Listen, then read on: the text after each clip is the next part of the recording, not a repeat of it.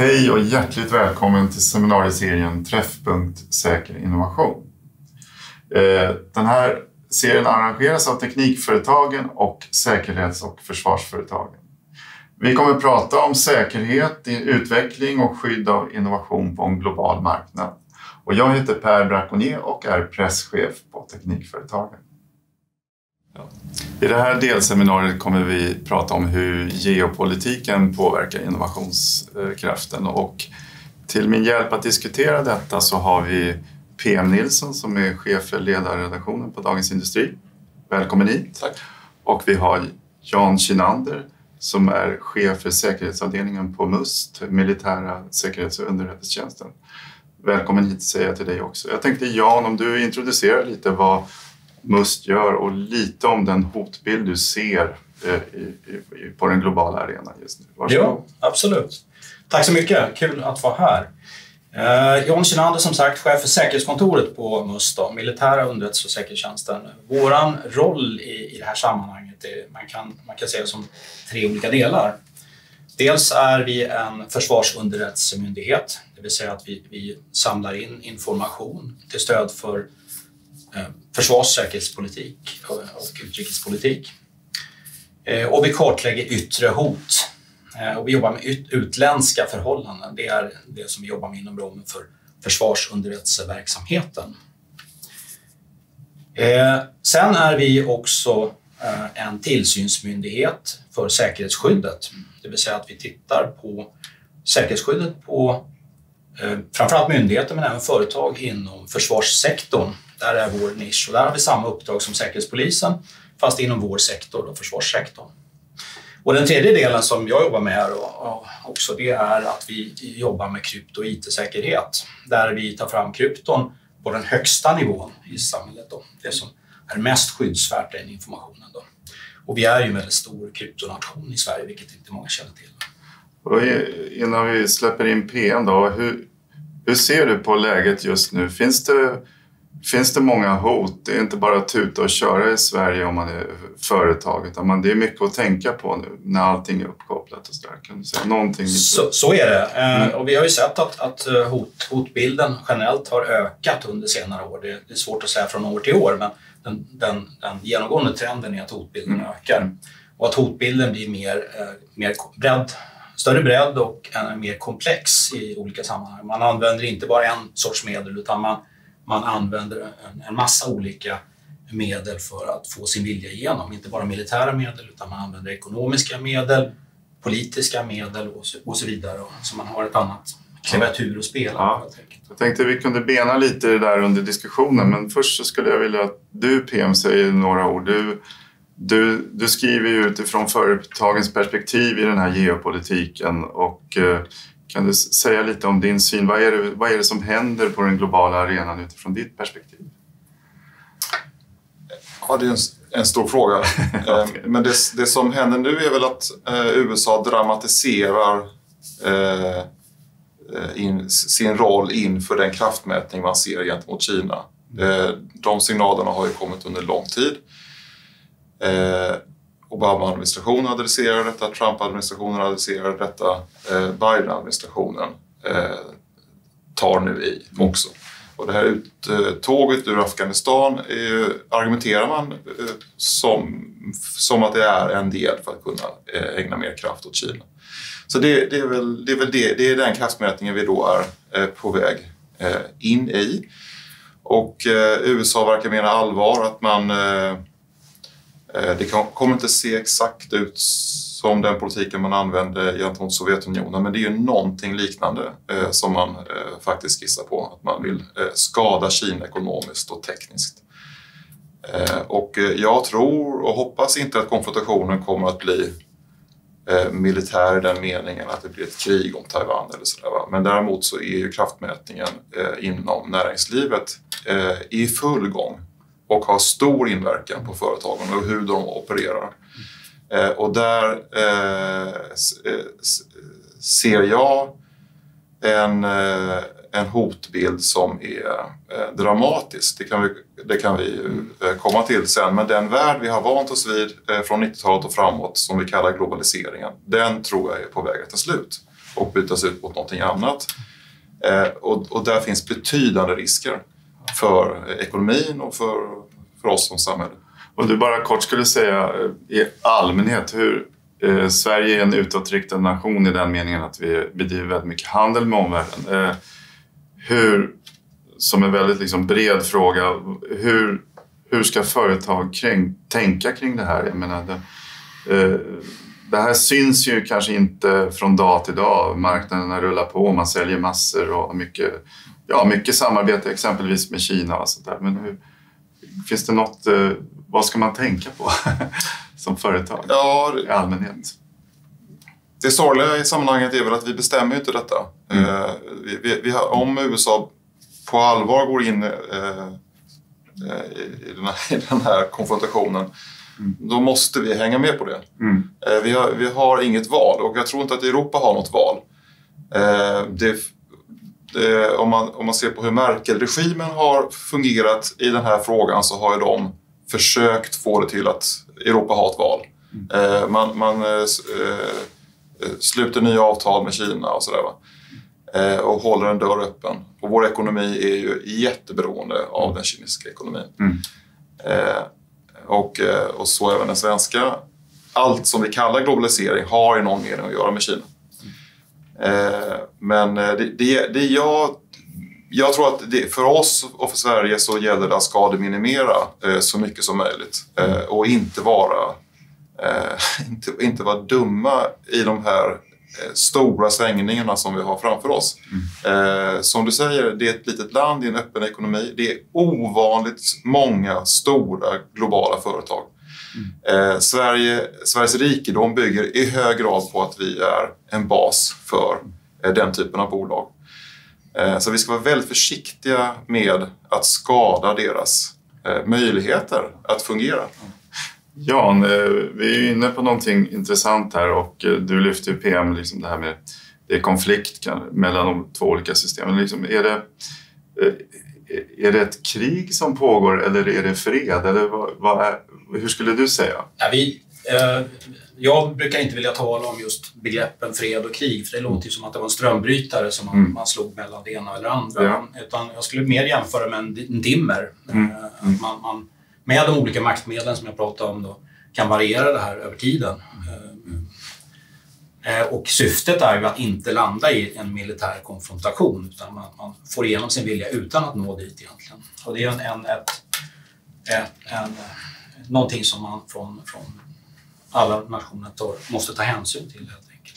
Jag, tyckte, jag tycker det dyker upp två, två saker här. Det, finns, ja, det är många saker, men dels, dels det här säger risken för konfrontation men också kanske tvånget att välja sida. Alltså det, Mm. det är ändå, vi går mot någonting kanske i och med att det eskalerar. Om den här bilden som målar upp att det, det blir mer polariserat. USA fokuserar mycket mer på att eh, biffa upp sig inför Kina. Så. Men vad, vad leder det här tycker du och hur ska företag och kanske och tänka kring, kring de här bitarna? Ja, det går ju inte att isolera sig från Nej. exempelvis Kina. Det, det Mm. utan vi, Mm. vi måste hantera det. Även på företagsnivå så måste man balansera det här på något sätt. Mm. Eh, och försöka skydda sig mot, eh, mot de hot eh, som finns kopplat Mm. till det här då, med ökat företagsspionage, Mm. ja, påtryckningar av olika slag för att få, få inflytande i svenska företag.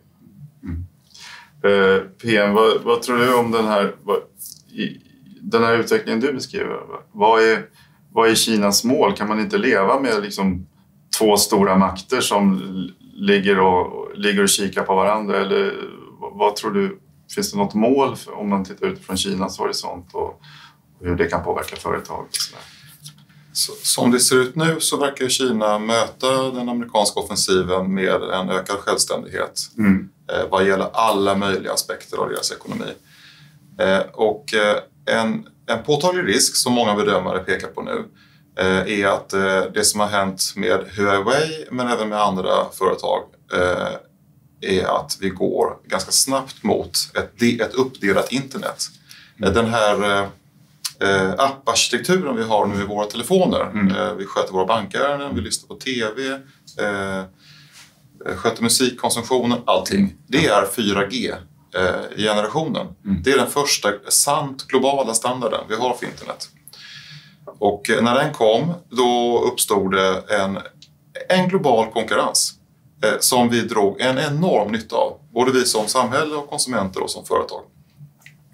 Eh, det man säger nu då är att eh, delar av 5G och troligen med säkerhet 6G eh, kommer att vara uppdelat i en kinesisk-asiatisk standard och en väststandard. Eh, så att våra ungars app apparkitektur kommer inte att vara globala appar. De kommer inte kunna titta på TikTok då.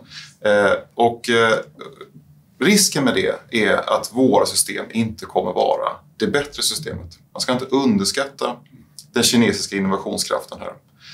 Eh, det finns en möjlighet att det här kommer föda en enorm global systemkonkurrens mellan de här två systemen och att väst kommer skärpa ihop sig och skicka ut horder av doktorander på våra tekniska universitet, likt Kina har gjort nu i tio år. Mm. Jag ser inte den. Jag ser inte den reaktionen. Jag ser ett väst som är ganska sömnigt, ganska saggigt, inte särskilt sugen på att ta sig samman på det viset som Kina och de asiatiska ekonomierna gör.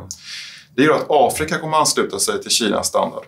Alla nya växande ekonomier kommer välja Kinas standard och de vinner. Eh, vi som nation har mycket, mycket mer att vinna på att hålla ihop den globala standarden. Eh, då får vi en global konkurrens. Vi kan vara på eh, den kinesiska marknaden med vår teknik. De kan vara på vår marknad med sin teknik. Och vi vässar varandra hela tiden. Det vill säga så som det har hänt nu de senaste 10-15 åren. Ingenting, ingen period någonsin i mänsklighetens historia har ju varit så fruktsam eh, och så, och så, och så lycklig och så, eh, alltså skapat sådana förmögenheter som det vi har varit med om nu, det vi kallar globaliseringen. Och det är ju den här processen och den äventyrar vi nu. Det är också en hotbild och särskilt för Sverige. Ja, så att det, risken är att vi går mot en värld där eh, även i, även i ett fredligt eh, framtidsperspektiv så handlar det om att eh, ja, produktivitet och tillväxt och ja, säljmöjligheter minskar då, så att mm. säga, med att man får två system. Men vad tror du Jan som, som jobbar med, med hoten som finns i de system vi har? Eh, det bästa vore ju om vi fortsätter med att utnyttja den här globala produktiviteten vi skapar som, som är då samma sak som tillväxt. Eh, eh, kan man upprätthålla säkerhet trots att det, att det finns, ja, det finns det finns stora risker med att ligga i samma system och det finns massa risker för spionage och annat. Så går det att upprätthålla det, tycker du, med det du ser i din dagliga gärning? Ja, det finns ju mycket mer, mycket mer vi kan göra naturligtvis. Ja. Vi, vi, ligger ju på en annan nivå när vi pratar om att skydda svenska myndigheter och svenska företag. Mm. Då pratar vi mer om, om mm. enskilda angrepp och, och den typen av hot. Ja. Mm. Men visst kan man göra mycket mer där och det, det finns egentligen inget motsatsförhållande som jag ser till det. Hur, hur... Men vi måste vara medvetna om den här eh, om hotbilden så vi, så vi kan hantera den på rätt sätt. Kan du berätta, hur ser det ut? Eh, hur, hur jobbar, om du nu, hur jobbar aktörer som vill eh, stjäla teknologi exempelvis från Sverige? Hur, hur, hur gör man det? Hur bygger man upp en sån verksamhet? Hur, hur ser det ut? Eh, och, och, det är alltså det man ska skydda sig mot och som ni jobbar med? Ja, ja nej, alltså. Mm. Underrättelseinhämtning pratar vi ju främst om här, ja, ja. där vi ser att underrättelsehotet är, är högt. Mm. Fyra på en femgradig skala bedömer vi det mot, mot försvaret, försvarssektorn. Mm. Mm. och inhämtningen sker både teknik, eh, genom teknikinhämtning, då, mm. eh, teknisk inhämtning och personbaserad inhämtning. Mm. Så det är det gamla klassiska att man värvar, varvar agenter, man försöker att få eh, kontakter in, inne i företag och myndigheter för att agera i sin ja, ja. i sina ärenden. Ja, så det så prata inte bara här om, det är inte bara det här som har varit mycket i media, det är inte bara riskerna med att ladda ner vissa appar som vi har varit inne på här, det är även det här att, att upprätthålla säkerheten med personskydd och allt sånt där som ni kollar på. Mm. Absolut. Mm. Uh, vi, vi, pratar ju oftast i media i alla fall om, mm. om cyberangrepp, ja. att man, man löser uh, sina utmaningar genom att angripa genom dator och nätverksoperationer. Eh, Eh, den personbaserade inhämtningen finns och vi ser ett exempel här i dagarna på när vi har en, en gammal klassisk spion som, som tas in för, inför rätta. Eh, eh, har, en, en, sak som kan vara intressant, och har den här har pandemin eh, förändrat läget på något sätt när alla suttit hemma, eller många har suttit hemma och jobbat? Så har det förändrat det här med säkerhetsläget och sånt där? Ja, det, vi, vi, kan säga att vi, vi, ser väl två saker. Dels har man ju in, ominriktat sina underrättelsetjänster för att, att jobba mot eh, medicinsektorn eller, eller mm. ja, den, den sidan så att säga på ett annat sätt. Mm. Så det är en ominriktning i sig. Då. Men om vi tittar på, på hotsidan så är det ju framför allt att vi har eh, fler som jobbar hemifrån. Mm. Eh, och det medför ju ökade risker. Eh, när man sitter hemma och jobbar har man inte samma, samma skydd som man har normalt på en myndighet eller ett företag. Då. Så där ökar ju riskerna.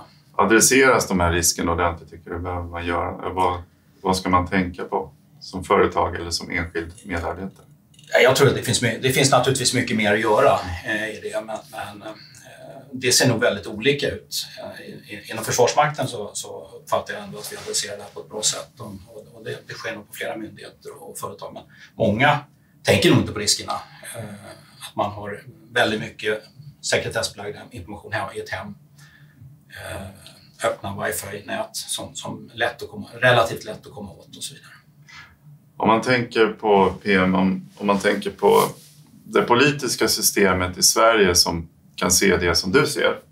Eh, hur tycker du man ska stötta eller se på utvecklingen framåt med de här... Eh, eh är det bara att vi ska se till att satsa på rätt häst eller vad, hur, hur ska man hjälpa företag och annat att liksom komma rätt i den här, om det ser kapplöpningen mellan två system eller någonting. Går, går det att säga något om det? Vad, hur ska jag, politiker tänka? Jag tycker att Sverige och väst bör, eh, bör satsa på att eh, utveckla sin innovationskraft. Och det är olika saker. Dels handlar det om utbildningssystemet. Det måste mm. bli mycket, mycket, mycket, mycket bättre. Mm. Eh, och sen handlar det om kapitalbildningen i Sverige, mm. i Europa och i västvärlden. Och där kan vi göra mycket mer. Nu finns det mycket som funkar i Sverige men eh, delar av regeringen är emot den utvecklingen. Ja. Eh, eh de, de, de gillar ju inte att folk kan göra sig förmögenheter på smarta företag. Utan de tycker det är ett problem, de kallar det för växande ojämlikhet. Och så. Mm. Men men en, en inhemsk kapitalbildning, eh, mm. eh, generösa villkor kring ägande och sådär är ju jätteviktigt om man vill värna eh, svenskt eller västerländskt ägande av bolag här. Eh, så att, om den insikten kan eh, omvandlas, eller om insikten om, om hoten från Kina kan omvandlas till en sån strategi så skulle det vara väldigt lyckligt. Jag, jag ser ju inte det nu utan snarare att man stänger ute eh, utländska företag eller kinesiska företag som vill investera i Sverige. Eh, vi kommer alldeles strax ha en lagstiftning där eh, man som storägare i ett bolag som vill sälja får gå till staten och till din myndighet tror jag eh, och fråga ifall eh, man får göra det. Med den lagstiftningen på plats så kan jag inte tänka mig att det som hände med Volvo hade kunnat hända. Mm. Eh, det kinesiska ägandet av, eh, av Volvo personvagnar räddade Volvo. Mm. Eh, och, utan kinesiska närvaron i Göteborg så hade Göteborg varit ett stort och fattigt och ganska farligt Malmö. Mm. Det här är också en svensk styrka, att vi kan vara ett land där utländska aktörer kan äga och driva företag. Eh, och vi, och vi, vi ska tänka några gånger innan vi äventyrar eh, mm. den möjligheten. Jag tror inte heller att eh, Christer Gardell hade kunnat sälja sin andel i Volvo lastvagnar på det sättet man gjorde för några år sedan med den här lagstiftningen. Och då vet man inte heller vad ett pris är. Man vet inte riktigt vad det är värt att äga. Eh, att, att vara storägare i Volvo, därför man kan inte sälja till vem man vill. Eh, och det gör det ju mindre attraktivt att vara ägare i Sverige. Så att alla de aspekterna är viktiga om vi ska behålla vår roll som en vital del av den globala ekonomin. Ja, så det ser du som ett stort problem om vi sätter upp den typen av legala murar runt vår ekonomi? Man, man kan naturligtvis ja. inte tillåta att kinesiska bolag äger vad som helst i Sverige. Det håller jag helt med om. Mm. Men man ska vara väldigt försiktig när man inför den här typen av begränsningar. Därför varje begränsning har en nackdel. Och olika länder kommer tycka att olika saker är skyddsvärda. I Italien tycker man att fotbollsklubbarna är skyddsvärda eftersom det finns ja. en koppling mellan politik och fotboll. Eh, I Frankrike så är man väldigt eh, mån om sin jordbrukssektor eftersom det är en del av den nationella identiteten. Mm. Sverige har vi inte riktigt tänkt på det viset eh, än så länge. Vi släppte vår klenod Volvo. Men, men, men i det klimatet vi är på väg in i nu nej, då gör vi ju Sverige mindre attraktivt som investeringsland. Helt klart.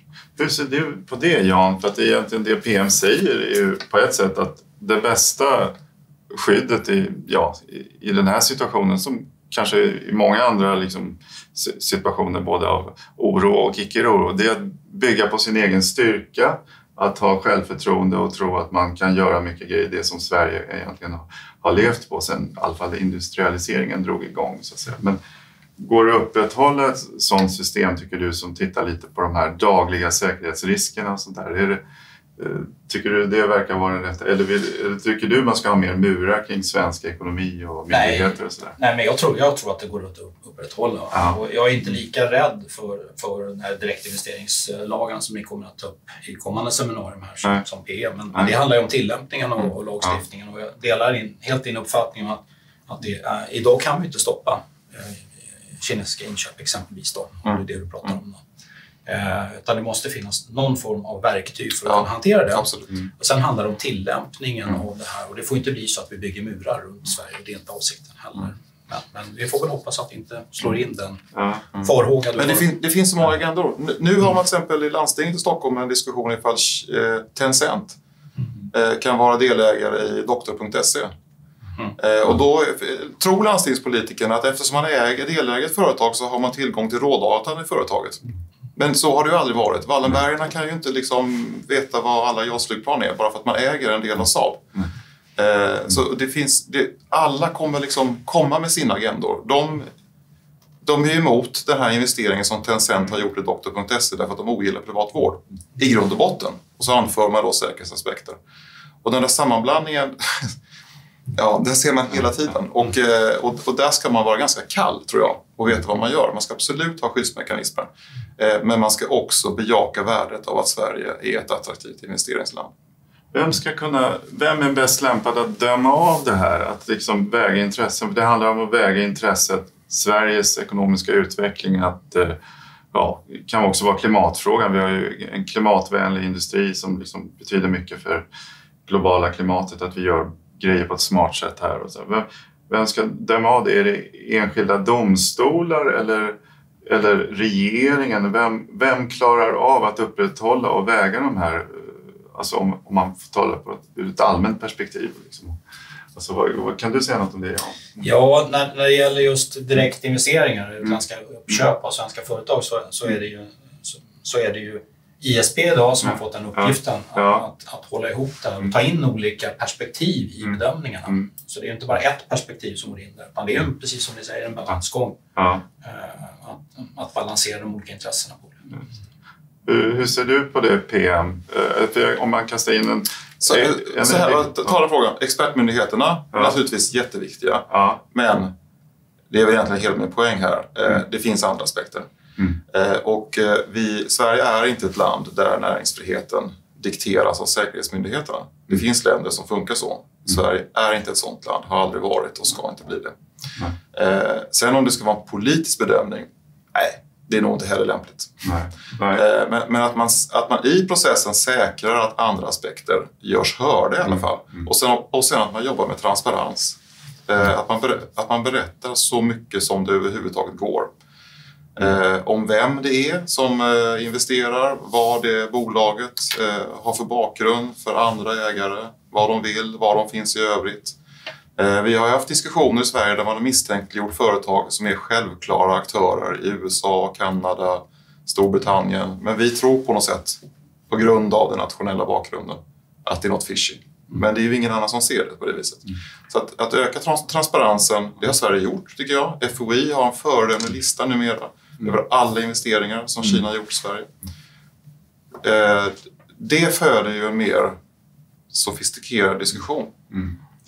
Vill du flika in något där, Jan? Ja, nej, men jag, jag kan ju hålla med om att det, i debatten så har det ju verkligen varit eh, digitalt. Det är ju ordentliga sinuskurvor. Mm. Förut, om det går tillbaka ett, ett par, par, två och ett halvt år ungefär, då, då var ju inget kinesiskt farligt överhuvudtaget. Nej. Utan då var allting guld och gröna skogar. Eh, och, nu har vi kommit till något annat ytterläge där, där man diskuterar familjerouten, om den kommer från Kina, är det farligt Mm. eller inte? Så att det, eh, på något sätt måste vi tillbaka i någon, någon form av balans i det här. Ja. Ser du att vi är på väg att göra det då, tror Jan? Ja. Jag, jag tror att just nu Ja. så är vi väl i ett, ett läge åt, åt andra hållet. Ja. Man har, man, man har en, en väldigt stor rädsla från allt Mm. vad det gäller Kina. Men det borde vi komma till, till rätta med menar du? För det är, liksom, det är lite överdrivet. Mm.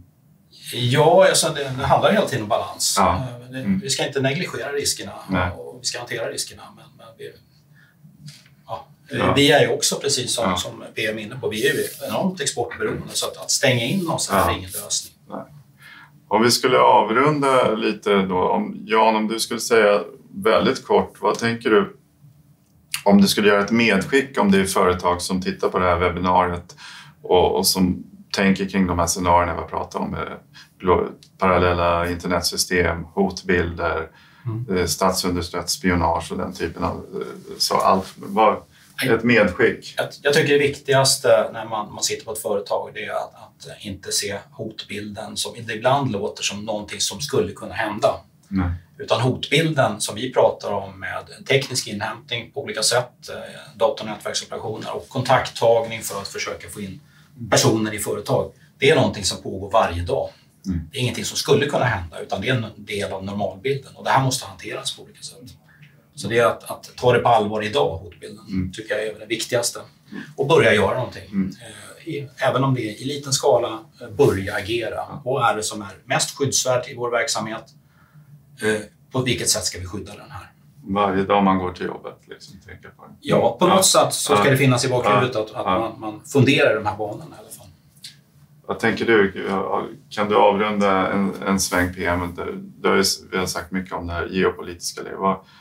Finns det något medskick till företagen hur de ska rusta sig för det här på ett kort, ett kort svar? Hur, hur, ska de se, hur ska man se på framtiden?